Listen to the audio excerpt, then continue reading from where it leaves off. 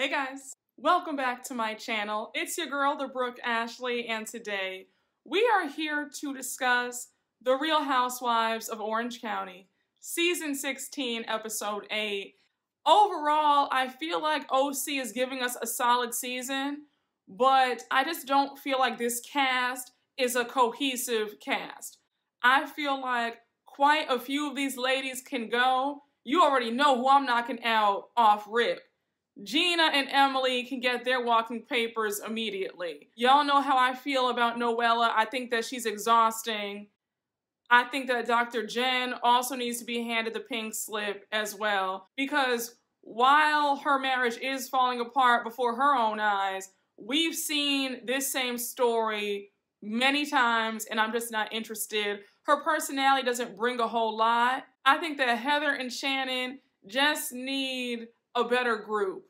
But without further ado, let's just jump right on into this recap because we don't have a minute to spare. We start this episode off, all the ladies are still at dinner, and Noella, Gina, and Emily come back to the table, and Shannon's trying to make Noella feel better. And she's like, hey, Noella, we have a nice chill tequila shot for you. Because remember how in the last episode, Noella didn't want to take a shot because the tequila was too warm.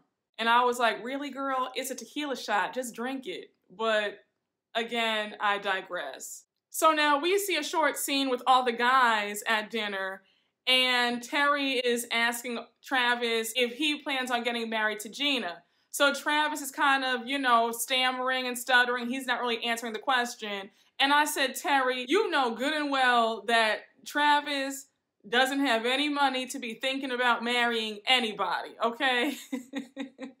I said, what kind of ring is he gonna propose to Gina with? Something out of the gumball machine? Like, stop.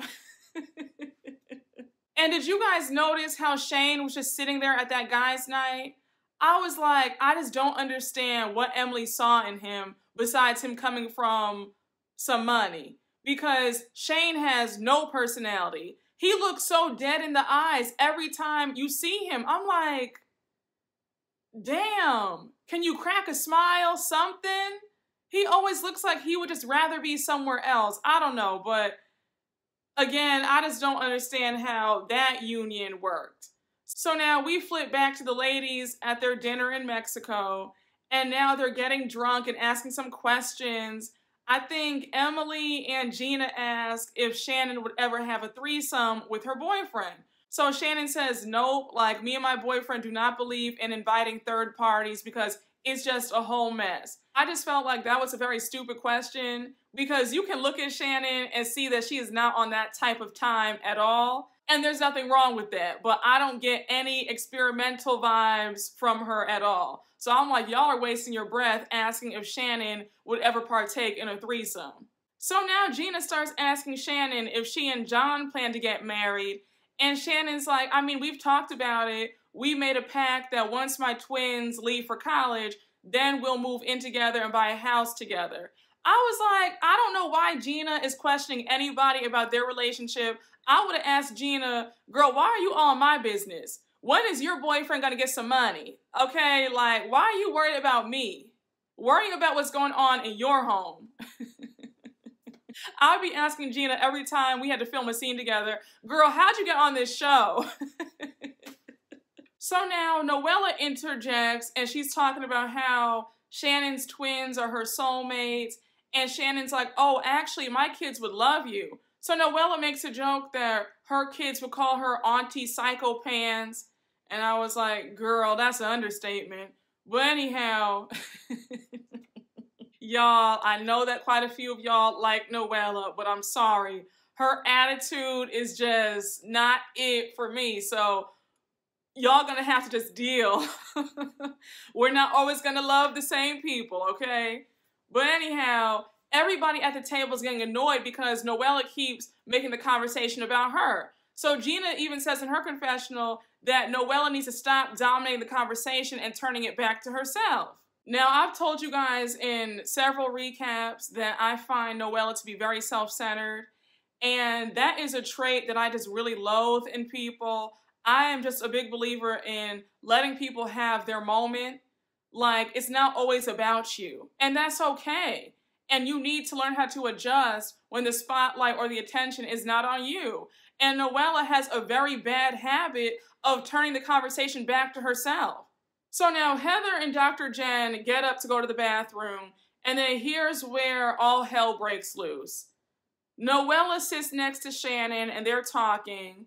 And now Gina and Emily start like fake humming and meditating. And they're kind of being a little bit annoying. And so Noella's getting annoyed, like, really? Like, you guys are acting so childish. So, because Noella called them both children, Gina and Emily get up from the table and they're like, you know what? Shout out to everybody. I have fun. We'll be back at the villa because don't call us kids. So, child, Shannon starts screaming and she's like, What's going on? Like, y'all get back here right now. And so she goes to follow Gina and Emily to bring them back to the table. So Gina and Emily get back to the table, and so Gina and Noella are still arguing. So Gina says, Do you want me to tell you that you're perfect all the time? Because you're not. So, child, they're still going at it. Heather and Dr. Jen are back at the table, and they're like, Wait, what's going on? And I said, Gina, this is what you get because you wanted Noella to come on this trip so badly, and now you and her are getting into it. You should have left well enough alone and had Noella to stay in Orange County while you guys were in Cabo. Now we move on to the next scene. It's the next morning, and Noella says that she couldn't sleep last night because she's still upset at the fact that she got into an argument with Gina and she feels like a ball of anxiety. So now all the ladies are split up in two groups for the activities for that day. And we see Shannon, Heather, and Dr. Jen together, and Emily, Gina, and Noella together. So Noella, Gina, and Emily are on their way to a sweat lodge, and a sweat lodge is going to be where they cleanse their souls. So, child, we see the three of them go inside the hut, and it's like 102 degrees inside of there. And when I tell you, you could hear them all just sobbing. Gina says that she feels like a wave of sadness has come over her, and she keeps saying that she can feel Emily and Noella's sadness because they were sitting next to each other. So again, I was like, I don't understand how that could be fun for anybody. I would have been like, you know what? I'm going to sit over there while you guys do that because I would not be participating in that. I go on vacation to have fun. I'm not trying to bring up or relive any past trauma. No, thank you. No. Uh-uh. So we hear Emily and Gina calling for production to help and get Noella out of there because she is about to pass out. She's sobbing. And so we see them carry Noella out. She's on a bed and she keeps saying that she's sorry. And they're all like, no, like nothing to be sorry about. Like, we want to make sure that you're okay. So while production and the employees at the Sweat Lodge are making sure that Noella's okay, Emily and Gina go off to one of the tables and they're like, the Sweat Lodge was a very surreal experience and how they could feel each other's sadness. Now Noella joins them at the table and she's like, I am so mortified and embarrassed. Like, again, I'm so sorry. They're like, no, don't apologize. Like, we just want to make sure that you're okay. She says that she's fine. And then Emily says, let's go back to the villa, have some margaritas on the beach, and just chill out. Child, we see them back at the villa and they're all in the bed sleeping. now we see Heather, Shannon, Dr. Jen, and Heather's friend Tawny are hanging out and they're checking out some beautiful homes because remember that Heather and Terry want to build a home in Cabo. So we see the first house is 26,000 square feet. I think they said it was what, $13 million? What a gorgeous home, a stunning library, the pool is gorgeous, ocean views, like you can't beat it. I could not stop laughing as Shannon making those snide remarks in her confessional. She was like, This house tour is actually shorter than Heather's house tour back in Orange County. and now we see the four of them looking at this plot of land that's right on the Pacific Ocean. We find out that this plot of land is about $8 million, and then Heather FaceTimes Terry to let him know about the pricing. And mind you, Heather's architect and realtor are there too. Now, let me just say, I don't think that that was right of Heather to include all of them on looking at houses with her. If she wants to look at houses, she needs to do that by herself with her realtors and her architect. Like, I don't understand why they all had to be included in on this. Invite me to your vacation home once it's all built up, but I don't need to be there to look at plots of land with you, especially if we're on a vacation. Heather should have done that by herself, and the rest of the ladies could have been out doing something of their own that they wanted to do. And you could tell that they looked kind of bored being there. So now we flip back over to Noella, Gina, and Emily. They're sitting on the beach just laughing, having a good time. And then all of a sudden, Emily decides that she wants to be messy and she brings up how they took the private jet to Cabo. So Noella's like, wait, you guys flew private? Really? So Gina's trying to comfort Noella, and she's like, you know what, Noella? I'm sure that Heather will invite you back on the private jet going home. So now Noella's like, well, Heather hasn't mentioned flights to me, so like, I don't really know about that.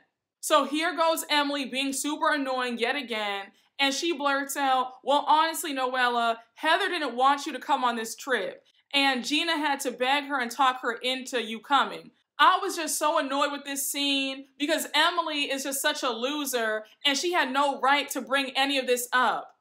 Girl, shut up and be happy that you're on the private jet. Like, I was just so irritated because Emily, you have no right to say anything. And I'm like, but Noella, you knew this though. The fact that everybody knew they were going on this trip at Heather's daughter's book launch party, and you had even said, Oh, I guess I'm not invited. You already knew that when Gina called you up that it was a pity invite. So why are you acting so confused and sad now? So Noella goes on to say how she's really hurt hearing all this, and she thought that this trip was an olive branch.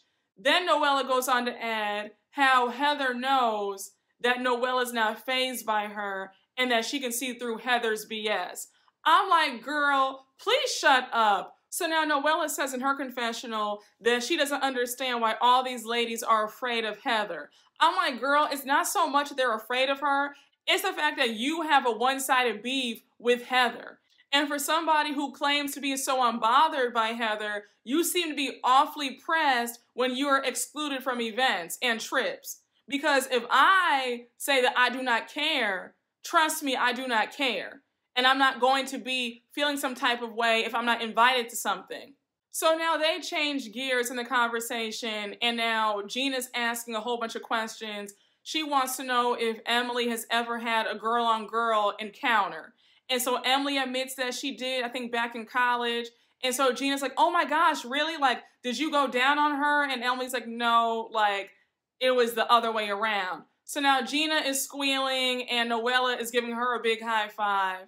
And I was kind of like, well, that was a very big change in the conversation. How do y'all go from talking about Heather to now asking if Emily has ever had a girl on girl interaction?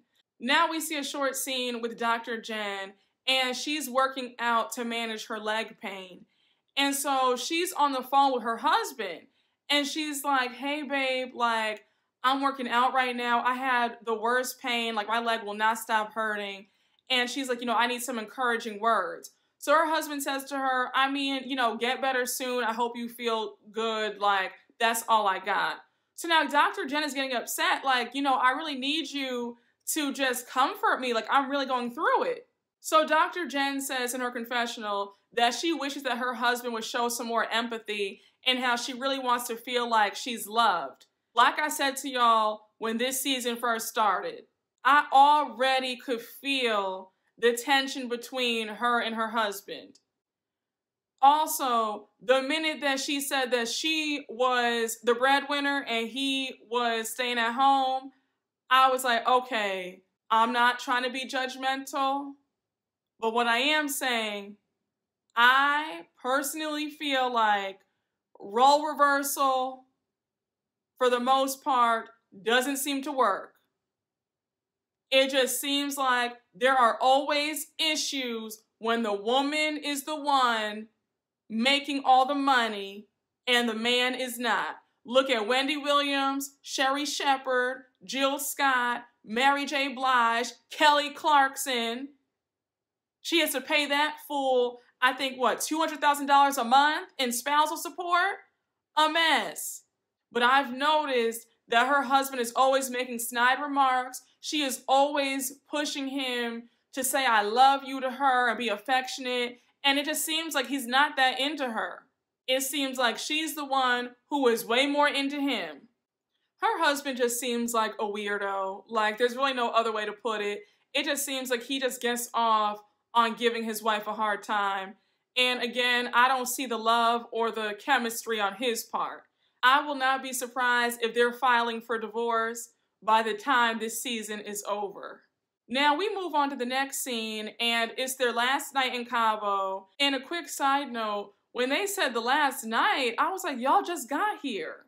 Y'all must have been there for two days. I mean, this really was a short weekend trip.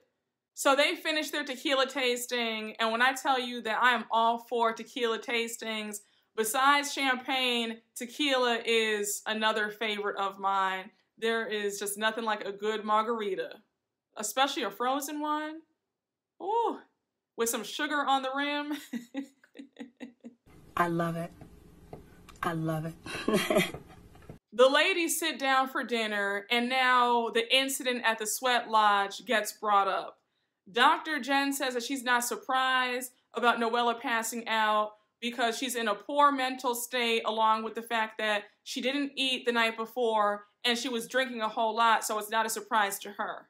So we see all the ladies talking amongst themselves. Gina and Emily go to the restroom, and Dr. Jen tells Heather that she had a nervous breakdown while she was working out because she can't seem to get validation from her husband. So Heather's giving Dr. Jen some advice, and she's like, you know what, Jen? You need to tell your husband what you need. I'm like, Heather, you're saying some great advice, but this advice isn't going to work because Dr. Jen's husband does not care. So, of course, it wouldn't be a dinner if things didn't go left out of nowhere. Shannon frantically gets up to use the restroom, and now Noella and Heather start going back and forth. So Heather's like, you know what, girl, I wish you the best. I really do. Like, just stop speaking to me because it's obvious that you just want to find fault in whatever I say. So now Noella says to Heather, well, I know that you invited me on this trip as a pity invite. So Heather says, no, that's not true. The real reason why I didn't want to invite you on this trip is because you gave my daughter pornography as a gift. So Noella's like, girl, what are you talking about? I bought these cards off of Amazon. Like, I didn't get her porn. So Heather's like, girl, I just can't with you. Like, just shut up. Leave me alone. So now Heather turns to Gina and she's like, Gina, I told you I didn't want to deal with this on this trip. Like, I didn't want to talk about this. So now Noella turns to Gina and she's like, wait, you knew? And Gina's like, yeah, I mean, she told me at her house the other day that you had gotten her daughter some porn as a gift. So Heather says, look, we all have different levels of what's inappropriate. Just say that you're sorry and that you didn't know what was on the cards and let's be done with it. So now Noella says that Heather's straight fragility is showing. So Heather's like, girl, excuse me, like what? So of course, here goes Noella and she's like, I'm a biracial, bisexual, liberal woman living in Orange County. Don't you dare tell me anything. So Heather says, Girl, don't you dare try to weaponize your identity to make me look like I'm intolerant. So now Heather says, You know what? Since you want to play this game, let's go. Let me read you what the cards say. So she's reading the cards out loud, and one is, you know, I want to eat your this, I want to, you know, eat that, suck this up and down. You know, you know what those cards are saying. So Noella is listening to Heather read the cards, and even Noella is in shock at what the cards say. So she's like, wait, oh my gosh, like, oh my gosh, that is actually wildly inappropriate for a 17 year old. So Heather finishes reading off the cards and then she says, look, you need to be more careful when it comes to buying things for a minor. And then she says, I have four kids of different sexual orientations, so please don't use any card with me. Like, that's not gonna fly. So now Noella keeps repeating that she's a bisexual woman, and Heather says, I get that. I understand that. I hear you. However, please be careful when buying a gift for one of my children who are still minors. So, of course, Noella keeps cutting Heather off, and then that's where the episode ends. Now, let me just say this regarding the whole card situation. I understand that Noella had no idea what those cards said. I get it. Okay? Heather had every right to feel how she felt about her child receiving the cards. Whether or not Noella feels like she was blowing it out of proportion, that's not really the point. The point is, all you needed to say was, Heather, I had no idea what those cards said. I thought it was an innocent card game. My bad. I'm sorry. Please don't take offense. And I didn't mean anything by it. That's all she had to say. And Heather would have forgiven her, be like, okay, cool. But to keep arguing with Heather, not take ownership, and then have the nerve to weaponize your identity and try to spin the conversation into something else, that wasn't cool. And I'm not negating Noella's experience living in the OC as a biracial person because I'm sure she does experience some sort of prejudice and racism. However, this situation is not that, okay? This was a clear Noella should have made sure those cards were appropriate for Heather's daughter. And for everybody defending Noella and her behavior, I just want to quickly point out that Heather did not have a problem with Noella. She was very sweet to Noella from jump. Very comforting, bought Noella a gift when the news came out about Noella's divorce. So I'm really not understanding why folks keep saying that Noella's in the right for how she's acting towards Heather. This is a very one-sided beef on Noella's side. Heather did not start with Noella. Noella started with Heather. But y'all, that was the episode. Thank you all for watching my recap. And as always, please make sure to like, comment, and subscribe. And I will see you all later. Bye.